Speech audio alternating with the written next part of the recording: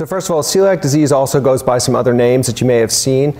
Um, it's called celiac sprue or gluten sensitive enteropathy. Uh, it is not the same thing as gluten sensitivity or gluten insensitivity. We're going to talk about that, but that's something a little bit different. Uh, celiac disease is the most uh, common term you'll see, though. Now, gluten, since we mentioned gluten sensitive enteropathy, is a storage protein that's found in wheat, barley, and rye. And technically speaking, gluten really isn't found in barley or rye. Uh, other storage proteins are found in theirs, but we use the term gluten kind of to collectively refer to the storage proteins in these three products.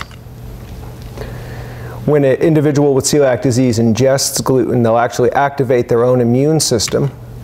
And that immune system will then in turn go around and actually attack the small bowel or small intestinal lining.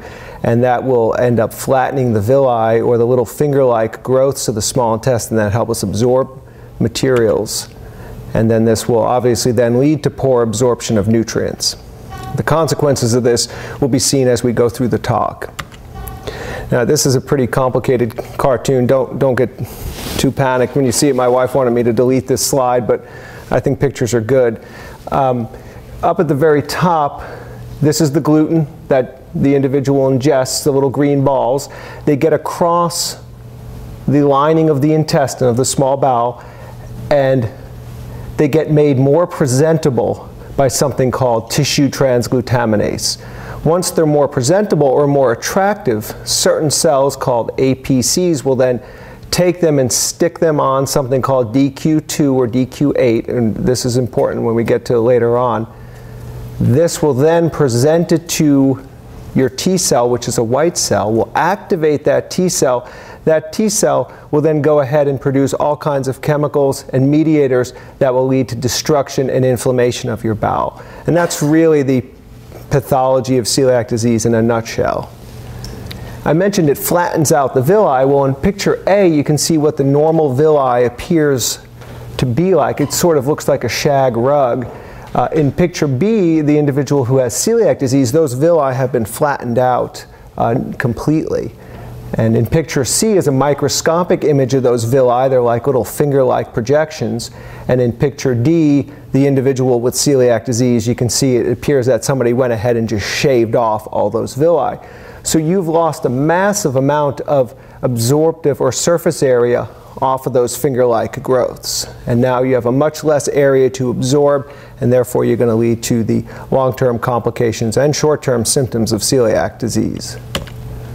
And celiac disease isn't just a disease of the gastrointestinal tract. Most of you are probably aware that there are numerous organ systems that are involved if you have celiac or can be involved. In children, you really have to worry about growth delays or developmental delays. Uh, there's a concern about malignancies, anemia. Obviously, there's the gastrointestinal symptoms people are probably familiar with. You can end up with bone problems such as osteoporosis and fractures, problems with your central nervous system, and problems with the skin as well as reproduction. We're only seeing the tip of the iceberg. For every case that we know about, there's probably three to seven more cases that are undiagnosed out there. Okay, so what celiac disease is not, it is not a food allergy. I have a lot of people come in and tell me that they're allergic to wheat, or that, that's something different. Food allergies are not common in adults. True food allergies, they're maybe more common in children. This is not a food allergy. It is not the same as gluten intolerance. Gluten intolerance is very similar to lactose intolerance. You eat gluten, you feel ill right away, but you're not doing any damage to your body, and you shouldn't have any effects outside of the GI tract. It is not age dependent. You can be diagnosed with celiac disease really at any age. It can become active at, at any time. It can kind of lay dormant for a long time. So I've seen people diagnosed with it in their 70s, and obviously children and infants can be diagnosed. And it's kind of common sense, but it's not contagious or transmissible, but uh, to just make sure that you're not going to catch it from a friend or family member. So how do we screen for it? How do we diagnose it? The blood test is really the gold standard right now. I shouldn't say gold standard, it's really the best way to launch into the diagnosis. The antibody that I prefer is what's called an anti-tissue transglutaminase antibody. A little technical, but some of you may be familiar with that test or seen labs in the past on yourselves. It's called the anti-TTG is another name for it. It's very sensitive. 95% of the time, it'll give you the right answer. So if you have celiac disease and that test is negative, it's going to be right 95% of the time. That still leaves a 5% question, though. There's another antibody called an endomysial antibody. It's a little bit more prone to uh, technical um, variances with the test, but it's also very good. You have to be very cautious though when using these antibodies because I mentioned the IgA deficiency that can be seen with celiac. 5% of people with celiac will be IgA deficient.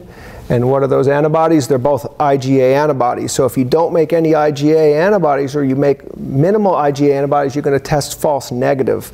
And that's where that extra 5% loss comes from. That's why the test is only about 95% sensitive. Um, Anti-gliadin antibodies is what we used to use. We really don't recommend those anymore for adults. I have a lot of patients who've come into clinic with a positive anti-gliadin antibody and they were told they have celiac disease.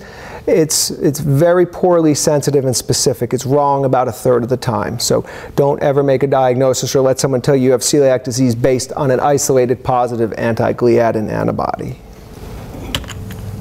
Now, small bowel biopsies are really the way to go. This is the true gold standard if you have a positive antibody, a positive tissue transglutaminase or endomysial antibody, you should go ahead and talk to your gastroenterologist, primary care provider about getting a small bowel biopsy. This is done quite simply these days. It takes just a few minutes.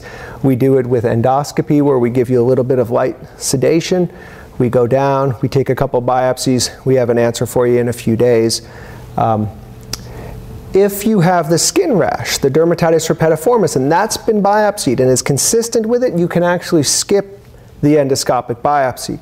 But the bottom line and the critical point here I can't stress enough is that you should never make the diagnosis of celiac disease without one of these biopsies.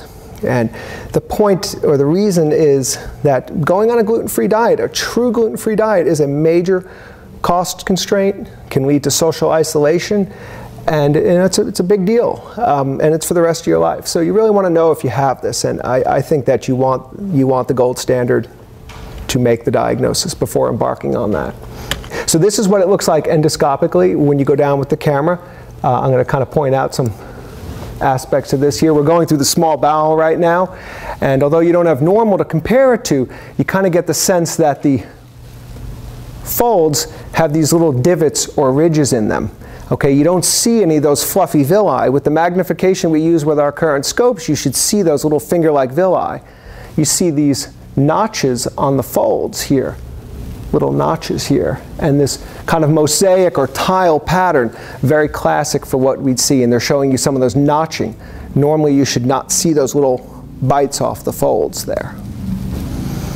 And that's a pretty classic finding of what celiac disease would look like. Now, of course, we're going to still go ahead and biopsy that because we want to be sure. There are other things that can cause such a look. But when I see that in the setting of an antibody positivity, I'm very suspicious that we have celiac disease. Okay, so why do you have to be on a gluten-free diet? If 80% of people with celiac disease have no symptoms, why do you want to torture yourself with a gluten-free diet? Well, there's numerous vitamin and mineral deficiencies you might not know you even have and have no symptoms from, you can have long-term complications from. You could be deficient iron and calcium. Um, calcium can, deficiencies in that can lead to the osteoporosis and fractures. The B vitamins can lead to the neurologic complications. You can have difficulties or problems with your fat-soluble vitamins. Specifically, vitamin K can lead to bleeding disorders and hemorrhage. So there's a lot of reasons why you want to uh, get these corrected. As I mentioned with the calcium, you can also have low bone mass, osteoporosis, and bone fractures. So um, you want to go on a gluten-free diet that will reverse.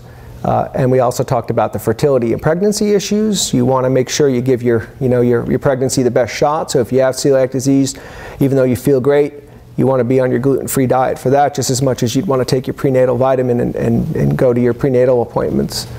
And surprisingly, out of those 80% who have no symptoms, I see a large number of people who come in and tell me they just feel great once we diagnose their celiac disease and put them on a gluten-free diet. How much of that is psychological? How much of that is real? I think there's, there's a little bit to be said for both. But there is definitely this, this syndrome of this improved sense of well-being in even those people who felt they never had any symptoms to begin with. So those are good reasons.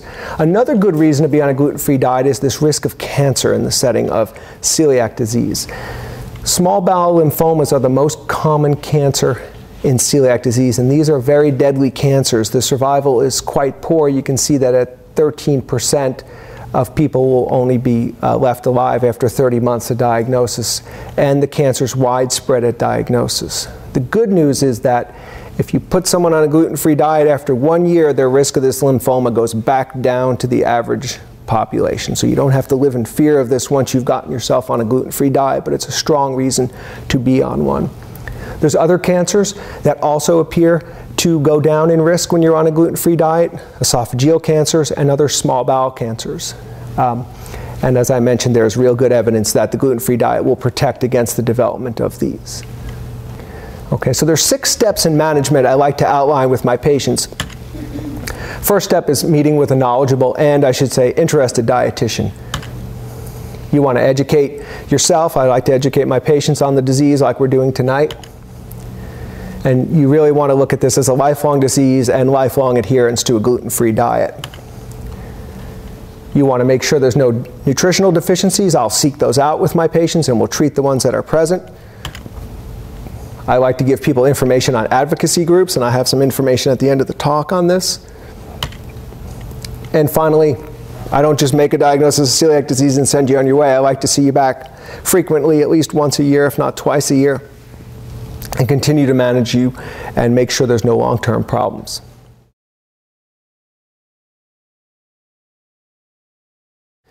Okay, so the, the principal treatment here, this is the part people probably are most interested in, is uh, the dietary management. And you really need to avoid all sources of gluten. Okay, so mainly that includes wheat, barley, and rye. And if you see something that says wheat-free, please be careful because that does not equal gluten-free because it could still have barley or rye or could have been processed in a facility where wheat was processed. Um, oats should be avoided initially um, because they're close in the family group to the wheat products, but also because they're often processed in the same plants where wheat is processed. If you really want oats in your diet, uh, I don't have a problem with that, but I only will say in the people who've had mild and are controlled disease and we limit to only two ounces per day and we introduce it carefully and we watch you. I watch your antibodies, I watch your symptoms if you have any um, really closely if you're going to go on oats. So oats aren't completely contraindicated, but you just have to be cautious with them. So please be careful. The hidden gluten, I like to go through this with folks too. Um, it, it's pretty much in numerous condiments, um, and I'll show you a few examples up there. But interesting things are cosmetics, mainly lip items. You have to you don't have to worry about your your eyeliner. Uh, it's your lip items because you may be ingesting that. So if you use a lipstick or uh, moisture, uh, you need to make sure that it actually is gluten free. Uh, believe it or not, medications. It's, uh, it's a real big thing with medications to inquire and to check, and I'll show you some resources on how to figure out if your medications are gluten free.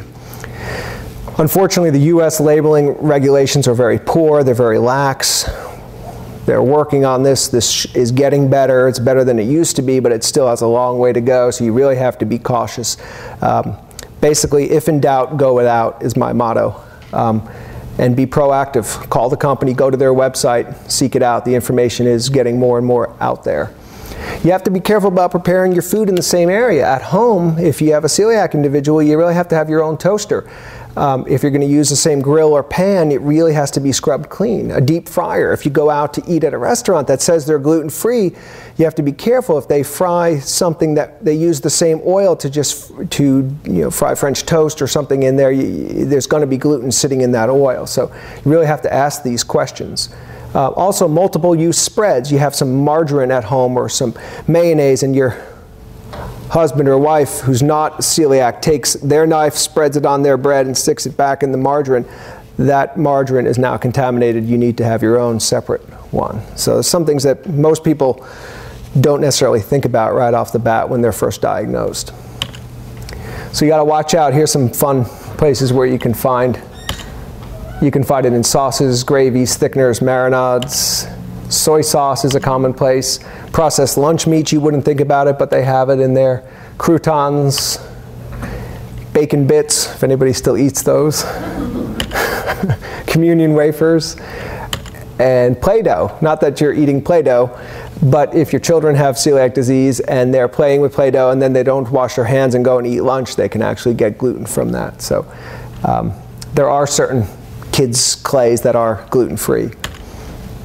Okay, more on dietary management. You may want to avoid dairy products initially because the lactase enzyme is at the tip of those villi, and those villi, which are shaved off, you're going to be someone who is lactose intolerant until those villi grow back. So eventually you should be able to get back on dairy, but dairy per se is, is not a gluten containing product. As I showed you earlier, rice, corn, um, sorghum, uh, they're all safe. Potatoes, buckwheat, tapioca, quinoa, these are all safe gluten-free items, naturally gluten-free items. All fresh fruits and vegetables are safe. Uh, meats, not including the processed lunch meats, and fish are safe. A distilled alcohol and wine are safe. And the reason is the gluten is a large molecule. So when you distill an alcohol, that gluten will not be processed over. Uh, however, unfortunately for Oktoberfest fans, uh, beer, ales, lagers are not safe. There are some gluten-free choices out there though. I've heard some of them are okay. Prognosis for uh, celiac disease is actually excellent with early diagnosis and the strict adherence to the gluten-free diet. If you do that, if you're on a gluten-free diet, your survival is going to be just as good as an age-matched population. And in children, if you catch it before puberty, they should have a normal growth and developmental. They may need to catch up a little bit, but they should catch up.